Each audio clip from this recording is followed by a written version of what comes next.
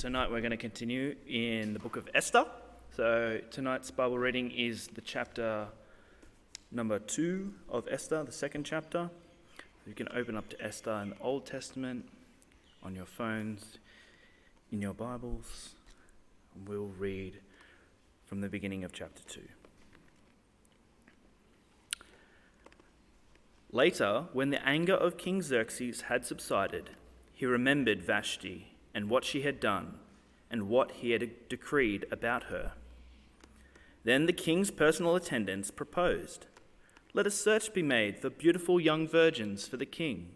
Let the king appoint commissioners in every province of his realm to bring all these beautiful girls into the harem at the citadel of Susa.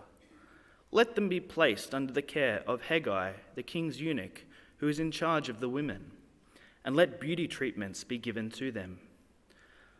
Then let the girl who pleases the king be queen instead of Vashti. This advice appealed to the king, and he followed it. Now there was a, in the citadel of Susa a Jew of the tribe of Benjamin named Mordecai, son of Jair, the son of Shimei, the son of Kish, who had been carried into exile from Jerusalem by Nebuchadnezzar, king of Babylon, among those taken captive with Jehoiakim, king of Judah. Mordecai had a cousin named Hadassah, who he had brought up because she had neither father nor mother. This girl, who was also known as Esther, was lovely in form and features, and Mordecai had taken her as his own daughter when her father and mother died.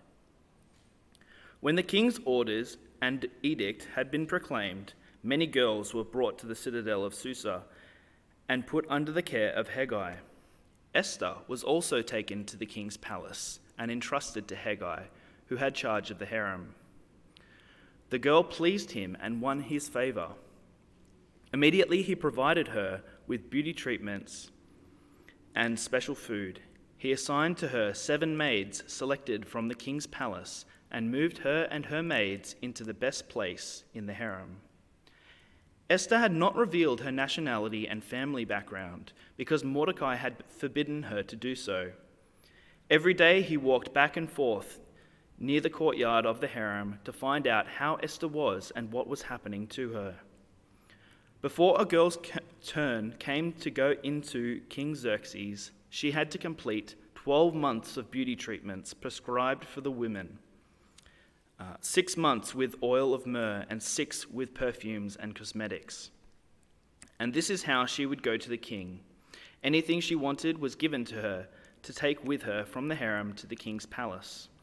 In the evening she would go there, and in the morning return to another part of the harem to the care of Shaashgaz, the king's eunuch who was in charge of the concubines. She would not return to the king unless he was pleased with her and summoned her by name. When the turn came for Esther, the girl Mordecai had adopted, the daughter of his uncle Abihail, to go, for, to go to the king, she asked for nothing other than what Hegai, the king's eunuch, who was in charge of the harem, suggested. And Esther won the favor of everyone who saw her. She was taken to King Xerxes in the royal residence in the tenth month, the month of Tebeth, in the seventh year of his reign. Now the king was attracted to Esther more than, more than to any of the other women, and she won his favor and approval more than any of the other virgins. So he set a royal crown on her head and made her queen instead of Vashti. And the king gave a great banquet, Esther's banquet, for all his nobles and officials. He proclaimed a holiday throughout the provinces and distributed gifts with royal liberality. When the virgins were assembled a second time, Mordecai was sitting at the king's gate. But Esther had kept secret her family background and nationality just as Mordecai had told her to do, for she continued to follow Mordecai's instructions as she had done when he was bringing her up.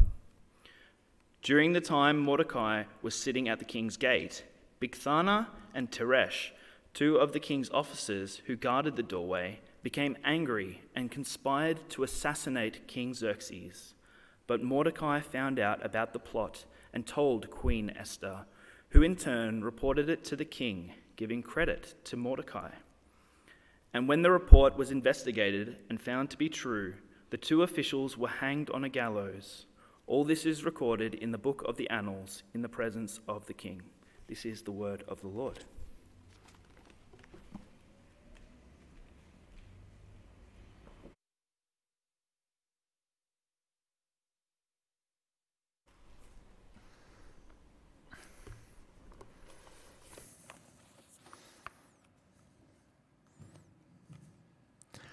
Well, we are continuing here through Esther chapter 2. So if you have your Bible, uh, please keep it open so you can follow along uh, with this passage. We've got quite a few verses here, um, but we'll try and take it uh, in a sweep. I was quite taken back uh, this week just looking uh, at the passage and just being able to dig into it. And I guess the thing that struck me was uh, how raw this passage is. And in so many ways, God could have sugarcoated it uh, to make it a little bit more palatable, uh, palatable for our ears. Uh, but He just didn't do that. So there's quite some mature themes here in this text. Um, but I guess the way we're going to look at it, we'll work through work through the story, and then we'll ask some hard questions uh, about the passage, um, some issues that it raises, and then we'll see the point of it, what God's doing here, and what He would have us to see. So. Um, Please join me as we pray and ask the Lord for his help uh, as we look into this uh, ancient text from his word.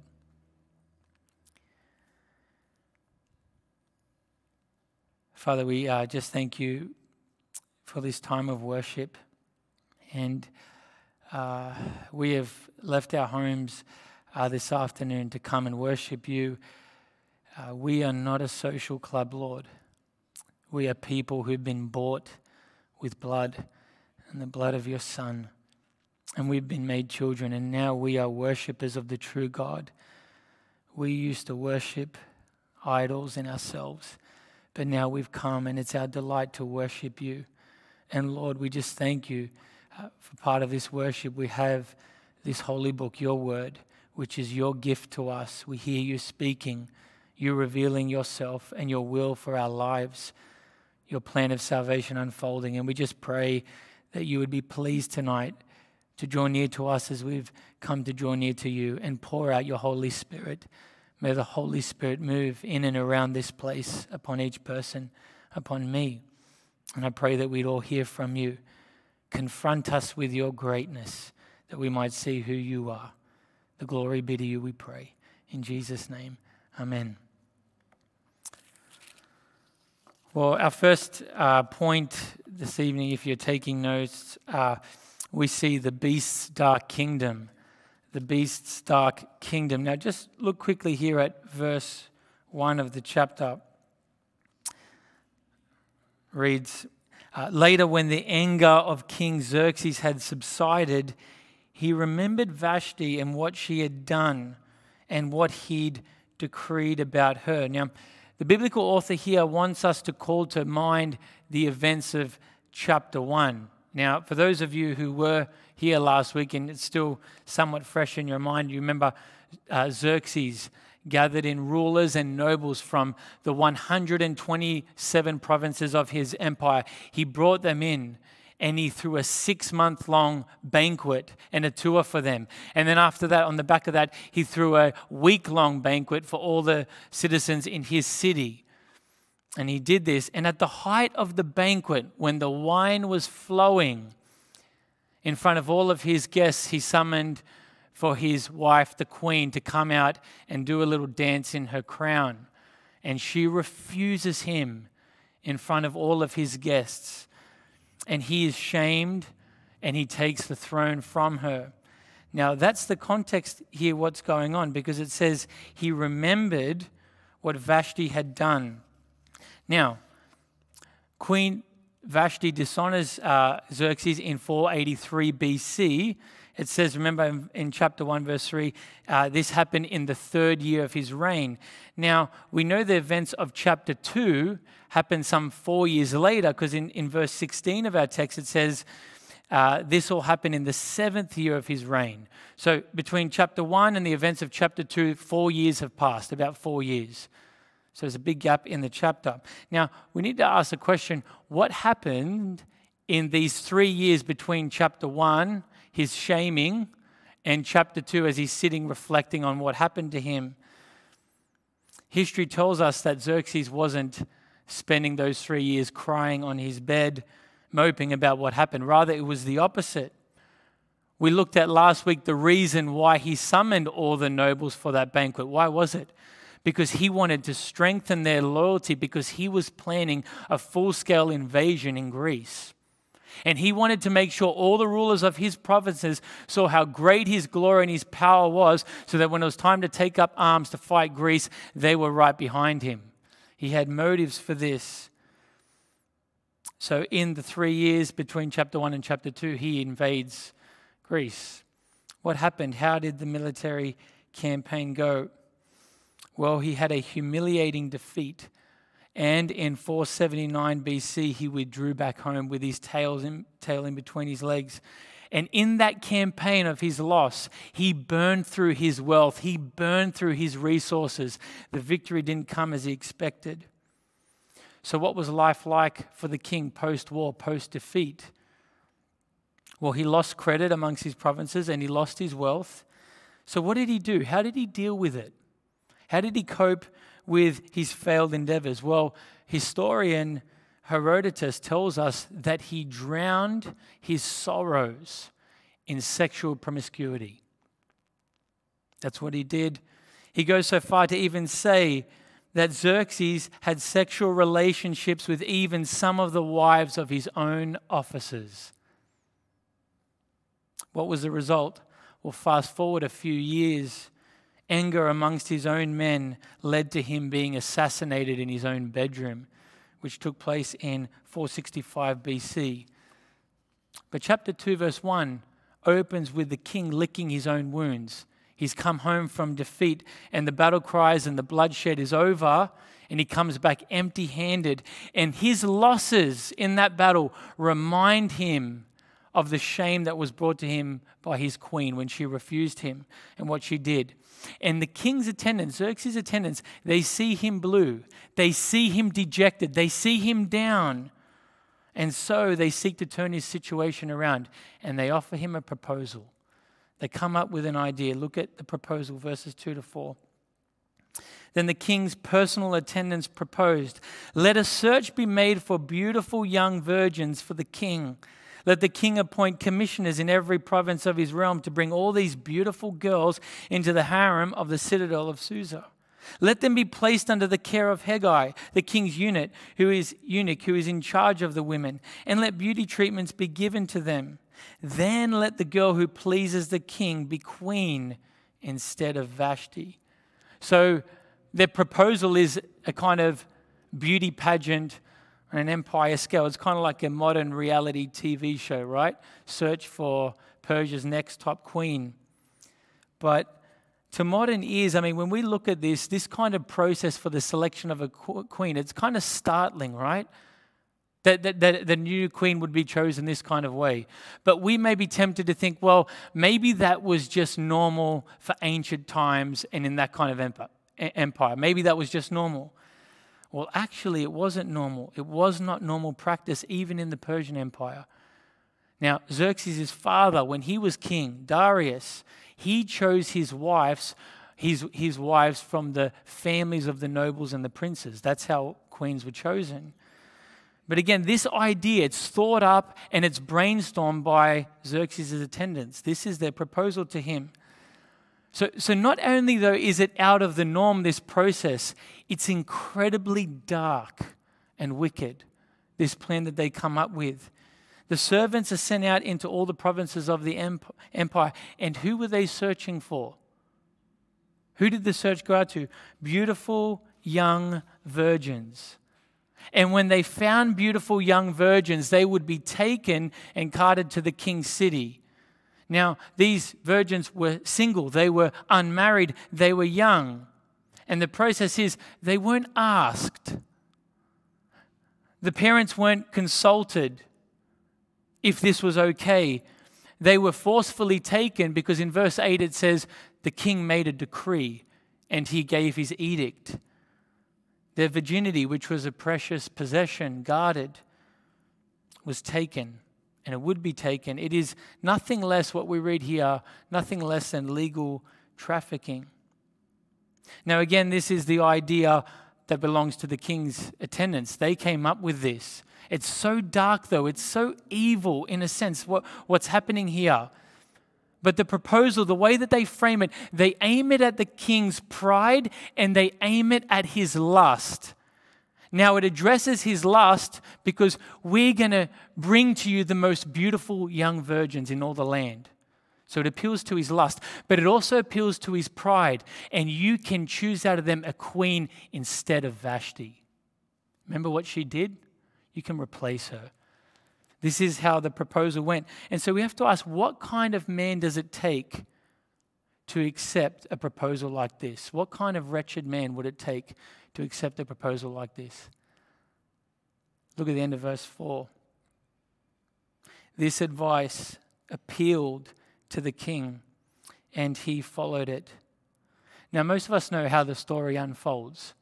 It comes out kind of like a Beauty and the Beast tale, right? But make no mistake, the beast in this story is a beast in the absolute truest and darkest sense of the term. The advice appealed to him, so the taking of these young women would diminish their dignity as women made in the image of God it would strip them of their God given rights, and they would be used as objects for personal gain. So we should be horrified as we read this. I mean, this is history. Last week, we made very clear to look at the genre of this book. It is not, uh, it is not uh, fiction, it's historical narrative. Now, as we look at this, horrified at it, we would expect the biblical author to comment at how wicked this all is, wouldn't we? We'd expect a, expect a little comment in the text, but he gives none. Not once throughout the story, not one comment. Now, the biblical author is not condoning what's going on here by being silent. What's he doing? He's simply showing us this is what life is like in the kingdom of darkness. This is what it's like. And notice, though, there's many things the biblical author doesn't comment on. He doesn't comment on how dark life was for young men in the Persian Empire, how difficult it was for them. It was actually just as bad. Eunuchs are frequently mentioned throughout the book of Acts. We've read it, right? Hegai the eunuch. Historians tell us especially Herodotus, records that each year around 500 young boys were taken from their families and brought into the citadel, and each of them were castrated and made as eunuchs to serve in the king's palace. And they would be servants who didn't get caught up in funny business in the palace, denied any opportunity for marriage and a family. Again, eunuchs are frequently mentioned throughout this book. And the biblical author doesn't comment once on the wickedness of it, not once. But the point that he's showing us this is what life is like in the kingdom of darkness. This is how it functions. So, whether you're a male or female, no one was safe in the Persian Empire. No one was. Remember last week we looked at, we considered, no man, no king has ever been able to handle absolute power even the best of the earthly kings. Solomon, his power led to his great undoing and he went astray. Even the greatest of kings, King David, absolute power led him to feed his own lust, commit adultery, then use his power to cover up the adultery with murder. There's only one king who can handle absolute power, and it is King Jesus. He is the only one not corrupted by it. But the story moves on. Look at verse 8.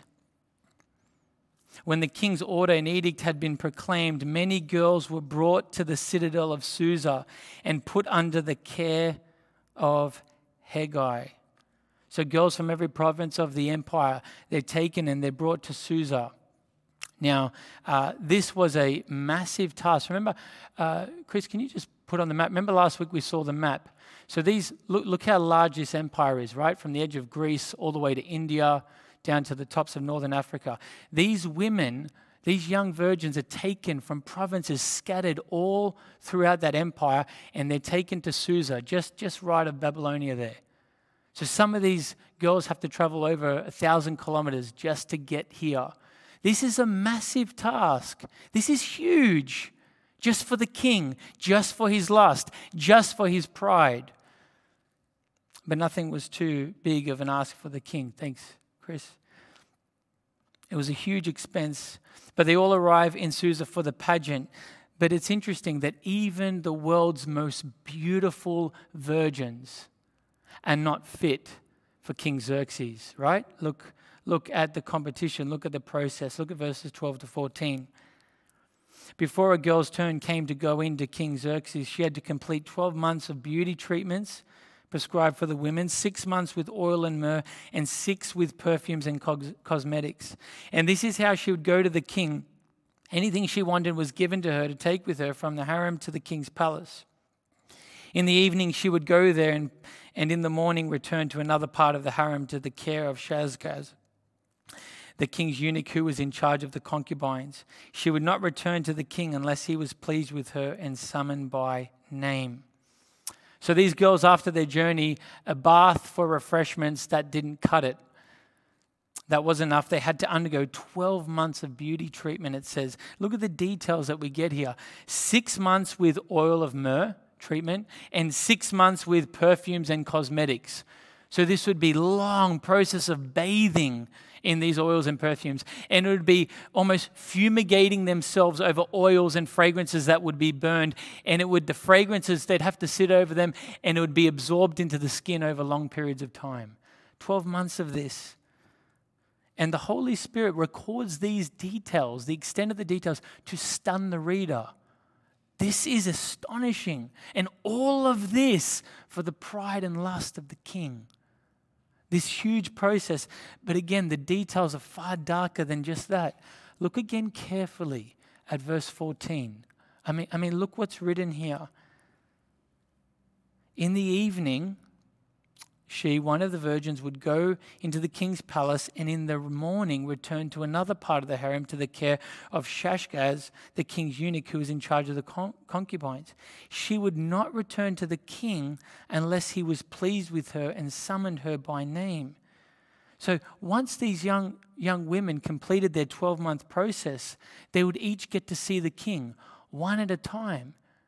And each night, one of them would get an invitation to the king's bedroom, and they were summoned. And then it says, in the morning, they were sent out of his room, and they were sent to another harem. Now, the context here is Persian kings had one or more wives. That was normal. But they had many concubines, many. These women purely for sexual fulfillment. That was what they were for. And these, these women, these concubines, they would live in the king's harem. They would live in luxury. They would live in quarters that were just for them. All the food they needed, all the clothes, anything they needed, that was where they lived and did life. And then only occasionally, if they were one who actually pleased the king, they would be summoned for pleasure. And then they'd be sent, and that would be their life. That's where they lived. History tells us that with Artaxerxes, he had 360 concubines in his harem, those who were the most beautiful in all the land. Now, this is the scenario in our passage. Each one, one by one, to the king's bedroom. These virgins made in the image of God, taken for this, for one night with the king. And then, after that one night, they were assigned a permanent place in his harem. One writer, Duguid, he, he writes this quote, and he captures the darkness of it. Quote, the king wished to add to his collection of living dolls. Those chosen would live in secluded splendor for the rest of their lives, even if they were only rarely taken out and played with. End quote. So after the one night, they weren't allowed to return to their families. Marriage was now forever off the cards. And if they became pregnant, the child would be taken and raised as a servant in the king's palace. See, we are reading of what happens to a culture that does not have the knowledge of the one true God. Does not have the knowledge. Look at what becomes of a people without the scriptures. Look at what becomes of a people without the revelation of God, without the Holy Spirit. This is what you see unfold. It is pure darkness. And we ask, how far could people be from God's design? How far could you possibly be? Compare that to the beginning of our scriptures, Genesis 2. For this reason, a man shall leave his father and mother, and he shall be united to his wife, and the two shall become one flesh. Could we be any further from that with how culture functioned here? How far could we possibly be? And so here we see the consequences of forsaking God and his ways. Sin brings destruction, misery, pain, and darkness. That's what it brings. Xerxes' kingdom was sex driven. The same thing happened in Paul's generation, in Paul's time. What does Paul say about his generation, about the pagans? Ephesians 5:12. For it is shameful to even mention what the disobedient do in secret. So Paul says of his day. And what about our world today? Are we any better? 4.8 million people today are victims of sexual trafficking. There are about 42 million prostitutes worldwide. A 2017 international survey found men had an average of eight sexual partners in their life journey, up to date, with women just under that percentage. 35% of all internet downloads are porn related. The kingdom of darkness is always dark. It's always dark. Ecclesiastes 1 9 says, What has been will be again, and what has been done will be done again. There is nothing, there is nothing new under the sun. So, what's the point of all these distressing details? Why, why are we spending time here? Why is it all recorded? Well, the reader, as we look at this, is pushed to conclude, as you consider what's going on here, God must be a million miles from this place we are reading of a God forsaken empire. You have to feel that way. Surely our advice would be to people living here run for your lives. The city's fate would be exactly like Sodom and Gomorrah. Get out of there. And yet, the Holy Spirit is setting the stage for an altogether unexpected ray of light in the darkness. And it leads to our next point a beautiful candle in the darkness. Now we're introduced to two new figures in the plot. First one in verses 5 to 6. Look at verses 5 to 6 with me. Now there was in the citadel of Susa a Jew of the tribe of Benjamin named Mordecai, son of Jair, the son of Shimei, the son of Kish, who had been carried into exile from Jerusalem by Nebuchadnezzar, king of Babylon, among those taken captive with Jehoiakim, king of Judah. So we read of here a man named Mordecai. We find out that his great grandfather was exiled uh, in the taking of, uh, of uh, Israel with Babylon.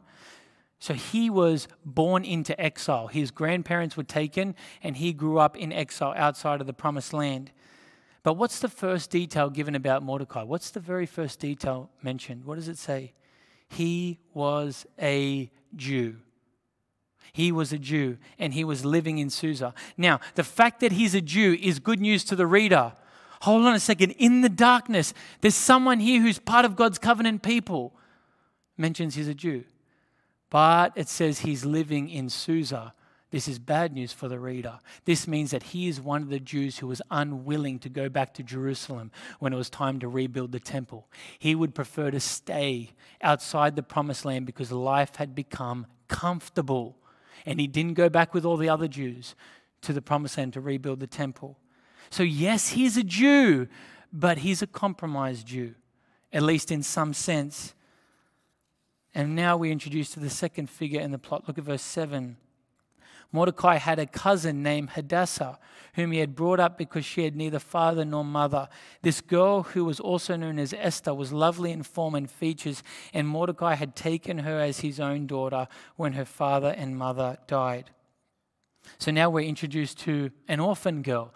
She's young, and her cousin Mordecai adopts her because her father and mother were killed, and he becomes a father figure. So immediately we're introduced to a girl who's had a rough start to life.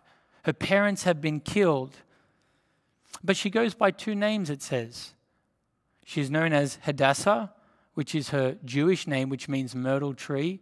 And the other name that she's given is Esther, which seems to be the Hebrew version of Ishtar. And what's Ishtar? Ishtar was the name of the Babylonian goddess of war and love, given a Babylonian name. Now, it's interesting that the, this is the first and last time she's ever called by her Jewish name. The rest of the book, she's only identified as Esther. It's in a sense, she's living as a dual citizen, right? She has two names. She's, in a sense, part of two kingdoms. She's got the blood of the covenant people of God running through her veins, but she's living outside the promised land as a Gentile citizen.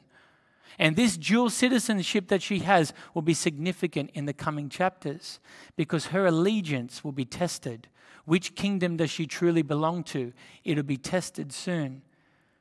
Who will she identify as? Now, our circumstances, friends, as Christians, is very similar, isn't it? We too are dual citizens. We, we, our names are registered with the country that we live in. But it also says in Philippians 2 we, our citizenship is in heaven. Christian, is your name not written in the book of life? You belong to heaven, just not there yet. And we too have this dual citizenship, and we need to try and live in this world, but not of this world. And be assured of it, the time is coming, if it has not already come, when the test of your citizenship will be put forward, where your allegiance is, who you really belong to. But this is how the Holy Spirit introduces her. And he adds just one more detail. It says in verse 7 she was lovely in form and figure. Lovely in form and figure. Remember, she's living outside Israel's promised land. She's living amongst the pagans. She's living in the kingdom of darkness. So, how is she described? Is she described according to the values of God's kingdom? Or is she described according to the values of the kingdom of darkness? Look what it says twofold description. She had an attractive face, it's literally saying, and she had an attractive figure. Both of them. Attractive face, attractive body. And yet, knowing the pageant is a scenario, God chooses to make her beautiful in form and figure. Psalm 139 You knit me together in my mother's womb. We all come to in different shapes and sizes. God makes us, and God chose to make her this way. He had a plan for where she was living in the time she was living. And it is her physical beauty that got her noticed in her hometown. It's why she was recruited by Xerxes' scouts, because she was attractive. Look at verse 8. When the king's order and edict had been proclaimed, many girls were brought to the citadel of Susa and put under the care of Hegai. Esther was also taken to the king's palace and entrusted to Hegai, who had charge of the harem. So she's taken with the rest of them. Now she's in the palace, she's enlisted in the competition, and she will join the 12 month program. There is a light here, a flicker. But thirdly, our third point tonight is we see favor amidst the darkness. Favor amidst the darkness. Now, look carefully, consider what happens to Esther. Look at this, it's just astounding. Verse 9 the girl pleased him. This is Hegai. The girl pleased him and won his favor. Immediately, he provided her with beauty treatments and special food. He assigned to her seven maids selected from the king's palace and moved her and her maids into the best places in the harem. She wins the favor of the managing director of the pageant. She gains his favor. Now, how did she do it? Was she just super cooperative? Was she fun to be around? Was she just super likable, one of those personalities that was just magnetic? Was she really humble and full of grace compared to all the other women? What was it? The Holy Spirit doesn't tell us, doesn't give us the details, and we'll see that point why He doesn't later on. But the extent of the favor, look at, look at it, it's just huge. She's immediately provided with special foods and beauty treatment. So she gets to jump the queue. She gets to start first in the program. It says, He assigned her seven maids from the king's palace. So she doesn't just have someone helping her with everything she's got to do. Seven maids are attending her. Whatever she needs, she's got seven servants around her all the time. And then, thirdly, he moved Esther and her seven maids into the best place in the harem. She's promoted. She gets this best spot, the place of best opportunity. It's just overwhelming the favor that this young girl gets, all packed into one verse. And if that wasn't enough, look at verse 15. When the turn came for Esther, the girl Mordecai had adopted, the daughter of his uncle Abihail, to go to the king. She asked for nothing other than what Hegai, the king's eunuch who was in charge of the harem, suggested. And Esther won the favor of everyone who saw her. Now, everyone who lays eyes on Esther, she wins their favor. We're all familiar with that saying, right? No matter how hard you try, you will not please everyone. So, whether you're a president, whether you're a celebrity who wins an Oscar, whether you're an athlete who is the greatest on the planet, you will always have your critics and you'll always have people who just don't like you. And yet we read here search all the corridors of the palace, and you will not find one person who does not like Esther. She won the favor of all of them, everyone who saw her. But having said all that, it's the ne- next step that counts, right? Doesn't really matter if she wins Hegai's favor, doesn't matter if she wins everyone's favor in the palace. What does it matter? She has to win the favor of the king. That's what matters at the end of the day. Look at verses 16 to 18. She was taken to King Xerxes in the royal residence in the tenth month, the month of Tebeth, in the seventh year of his reign. Now the king was attracted to Esther more than to any other woman and she won his favor and approval more than any of the other virgins. So he set a royal crown on her head and made her queen instead of Vashti. Favor. How many times does it have to come up in the text till we realize something is happening in the life of this girl? There are things at work here. Chapter 1 the king calls a banquet and calls for Vashti to come out in her crown. Chapter 2, the crown is taken from Vashti and put on Esther's head, and a banquet is thrown for her. Favor, favor from every side. Remember, we looked at last week one of the key things in the, in, in, the book of Esther God's name is not mentioned once in the entire book. Friends, God's fingerprints are all over every single detail of this book. He is everywhere and he is working everything out. Xerxes thinks that the choosing of the queen will rest solely upon him. And he doesn't realize that the choosing of the queen will come through him, but he will choose the queen of God's own choosing. That's what will happen. Yes, he freely chooses and not by holy standards, but he will choose God's queen. It was interesting, just this past week, uh, I caught up with a Christian brother from the church at a cafe and we met up. And it was just, we just planned for the two of us to catch up. I thought nothing of the, cha- of the table that we chose to, sat, to sit at outside. And little did we know that we were going to choose the table of God's own choosing we were having fellowship and we're just sitting there talking. And then a lady came and sat down in the one spare table that was next to us. Everything else was full. And she sat down and we just continued talking, me and him. And then she interrupted our conversation and she said to us, I've just been listening to everything you've said. And I am just so encouraged by what you guys have been talking about the Bible, how you've been talking about the scriptures. And I, I just exactly what I needed. And you won't believe it. I'm actually looking for a church at the moment. I've moved and I just want to know more about God. And I'm just loving what I'm hearing at the moment. And so, anyway, we chatted with her. We turned and we chatted with her for the next 20 minutes and encouraged her and, and told her some things of what she should look at in a church to encourage her. We weren't about stealing sheep, but we sought to encourage her. And then, before we left, it was time for us to go. We sat there and we prayed with her, and she left so blessed. We left so blessed. Couldn't believe what happened. Now, we didn't realize, we, we just thought we were choosing any old table at the cafe. It was only afterwards that we realized that we chose the table according to God's own choosing. He was behind all of it, a seemingly normal event, because his purposes will stand. Xerxes has no idea who he's chosen for the crown. She just pleased him. He had no idea the plan of God that was unfolding before his eyes. He just couldn't see it. Leads to our final point this evening.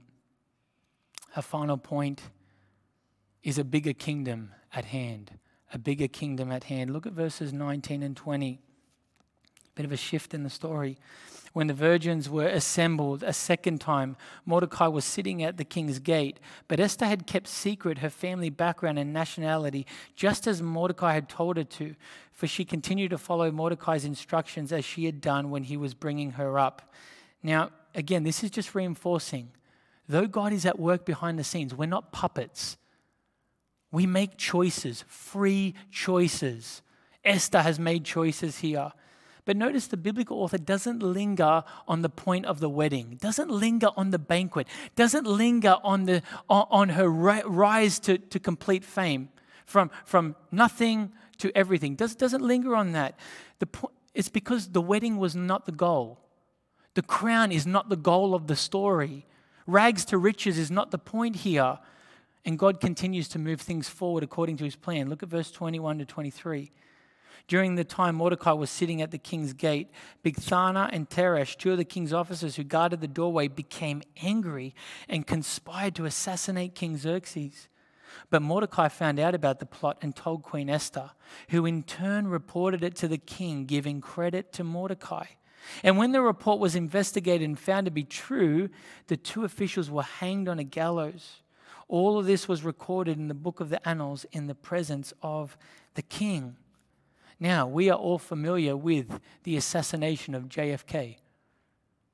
Major event. Now, what is transpiring here is nothing less than that the assassination plan of the, of the emperor himself. But God saves Xerxes' life. God spares this evil man. And how does God do it? God can do anything. He can use anyone he wants. How does God choose to do it? He chooses out of the whole world, out of the whole city, Mordecai. Chooses a Jew. And, and, and when does the event happen? It happens just after Esther has been made queen. So Mordecai can take this news as a Jew, pass it on to the new queen who is a Jew, who will in turn report it back to the king of the empire. We start to see that coincidences don't, coincidences don't really exist in the book of Esther. So, why interrupt this with this little story here? Why interrupt the celebrations of the banquet? Why, why is the biblical author doing this? Because this book is not about Esther. It's not about her. It's not about Xerxes and it's not about Mordecai. It's about God.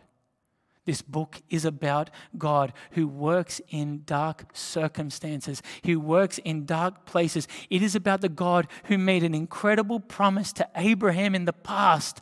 And it is a God who is faithful to keep that promise that through Israel, all the nations of the world will be blessed. It is about a faithful God who fulfills his promises in incredible and unexpected ways. But, and we saw that last week, but as we get to this point, it leaves the reader asking so many questions. So many questions on our mind. Questions about Mordecai's actions, questions about Esther's actions. What, what are some these questions? Well, firstly, about Mordecai. In the text, on two different occasions, in verse 10 and verse 20, it says twice that Mordecai forbade Esther from disclosing her Jewish identity. Two times the author writes that. Now, why, why, why does he do this? A Jew's ethnicity was so closely tied in to their relationship with Yahweh. They knew Yahweh because of their identity. He chose to love the Jews, he chose them as his people. And the one thing that connects her to Yahweh, Mordecai says, do not mention. Don't say anything about what people you belong to. So, how could he tell her this? She's now in the, in the palace for, for years. That's years without witnessing to anyone. No evangelism about the one true God. There's idols everywhere. And she says nothing. Mordecai tells her not to do it. Was he afraid? Was he fearful of her, of it happening? Did he think that if she kept silent, it would help her cause? Had he become ashamed of Yahweh? Listen, the, what he does here is like me coming up to someone in the church, a young person coming up and, say, and says to me, um, Nathan, can you pray for me on Monday because I have a job interview? And it's like me going back to them and saying, make sure you highlight all your strengths, everything that you contribute, but do not mention that you're a Christian. Don't do it. Is it any different what Mordecai does here? Is it any different to that? But all these questions the Holy Spirit leaves unanswered. But the questions that we have for Esther are even more troubling. Think about it.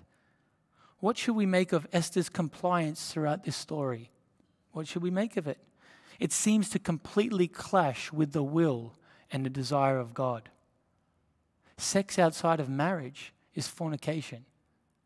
How much more so with a, with a pagan, with an idolater, someone who's not a Jew? You remember Esther? When he comes out of Babylon and he comes back, and some of the Jews they start intermarrying with the, with the Gentiles, he blasts them, you spiritual adulterers. And he starts ripping out his beard in distress. Esther does all of this, but we, we ask Did Esther have a choice to refuse so powerful a king and so forceful an invitation to his bedroom? Did she really want to refuse?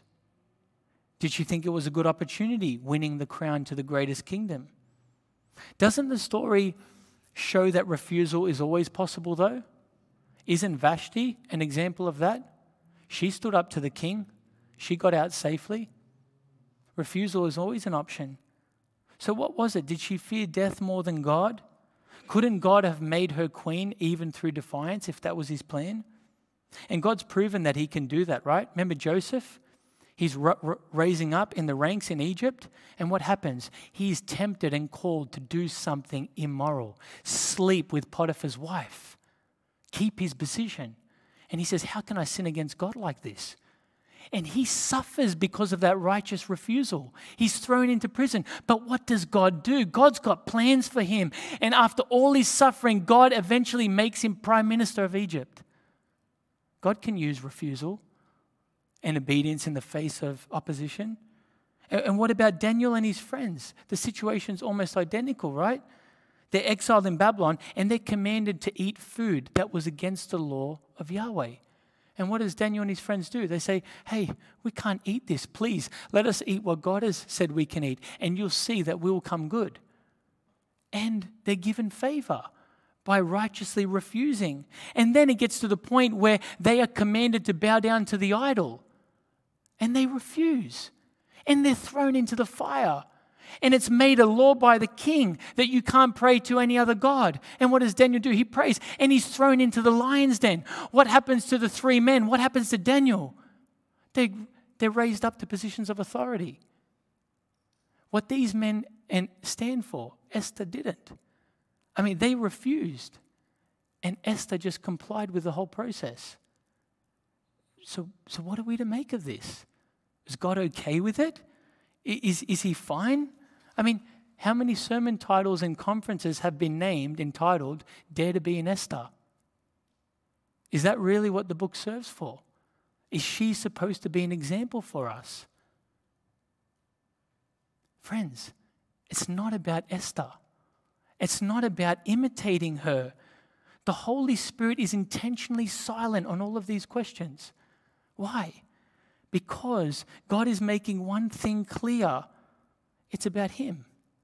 It's about God working in extraordinary situations, in ordinary situations, God working in nobodies, God working in kings. And it's about God fulfilling the greatest rescue mission this world has ever known bringing his son into this world. It's not just about saving Esther's generation of Jews, it's about saving those Jews so that the Messiah can be born. So that the knowledge of God will extend past the borders of Israel to every corner of the earth, and the Son of God will redeem men and women from every tribe, nation, and tongue. It is about God. So that's why the Holy Spirit doesn't answer all these questions. He doesn't want you to follow Mordecai. He doesn't want you to follow Esther. It's not why it's recorded. It's about Him and the salvation He will bring. Let me close. As I look at chapter 2, and even just thinking through it this week, it is a distressing chapter. It is dark, it is raw, it's not sugar coated. It's tragic, it's uncomfortable, and it's unpleasant. It was for me at least. And it's perhaps it's nicer to hear the Sunday school versions of a story of Esther, isn't it? But that's not the way the Holy Spirit presents it to us. And friends, it's exactly the way that the, the Holy Spirit and God gives us the gospel, isn't it? It doesn't present it all sugar coated. It begins with the tragedy of our rebellion. It begins with darkness. It begins with our sin being so great that God is angry with us and that we deserve a place called hell. And, and, and it begins with us contributing to the darkness of the kingdom, us being at fault. And it's uncomfortable and it's unpleasant and it's not nice. It doesn't seem like good news, but it's at that point, it's at that point when the darkness is so strong that a ray of light begins to pierce the soul. Isn't it? And the candle flickers, and the hope of the good news comes forth, emerges. Esther emerges out of nowhere. And in the same way, in a little town of Bethlehem, out of nowhere, a baby is born from a virgin, from nobody's. And he will come and he will lay down his life for sinners so that they may be forgiven and have eternal life. This is God. This is how he presents it raw, he presents it how it is. But this is what God has done, and it is available. Esther is driving every single one of us. Believe in God's plan of redemption, and the plan of redemption is bound up in a person, and it's Jesus Christ. Do you know him tonight? Do you know him? It's all about him. Let me pray.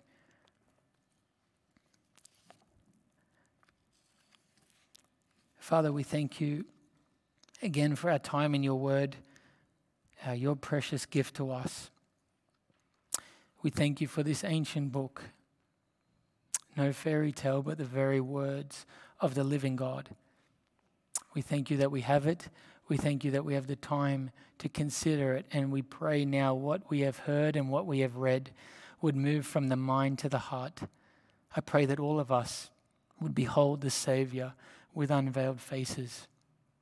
Lord, may all of us be led to adoration and worship of the God who is over this universe. We thank you that you are faithful and the promise you made way back to Abraham was fulfilled through Esther's generation and was fulfilled in the coming of your Son. Lord, we thank you that we have benefited and received the gift that has come through him. But Lord, any who haven't, may you draw them unto yourself tonight that they may repent and believe on him. Lord, may you make time to truly be of the essence for each soul here tonight, we pray. In Jesus' name, amen.